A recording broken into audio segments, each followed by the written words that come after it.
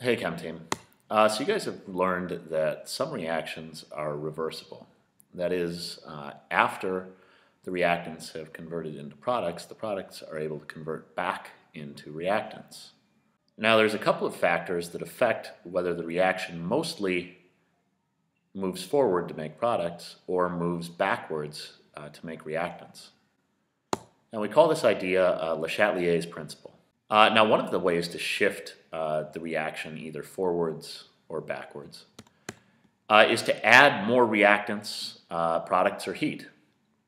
So in our example here, if we were to add more reactants, in this case either add more heat or add more ammonium chloride, uh, that would mean that more products would get made in this reaction. Uh, but the opposite would be true too. If we added more products to our system, that is, we added more hydrogen chloride or more ammonium, uh, that would end up resulting in more reactants being made. The reaction would shift backwards. Uh, you can also shift uh, the reaction by removing reactants, uh, products, or heat. Uh, so in our same example here, if we were to remove uh, some of our reactants, that would shift our reaction back toward uh, the reactants. Or vice versa, if we were to remove some of our products, uh, it would result in more products being made to replace the ones that were lost.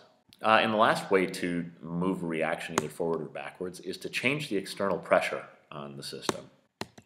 So in our reaction, because our reactants are solid and our products are gases, uh, if we were to increase uh, the external pressure on this reaction, uh, we'd end up with more reactants. Uh, and you can kind of see that intuitively happening. If you were to, uh, to compress the system, uh, the system will end up uh, favoring whichever side is more dense. And in this case, it's whichever side has less gases. Uh, but the opposite is true. If you decrease the pressure, the reaction will expand toward whichever side has more gas particles. so in this case, decreasing pressure would make more products.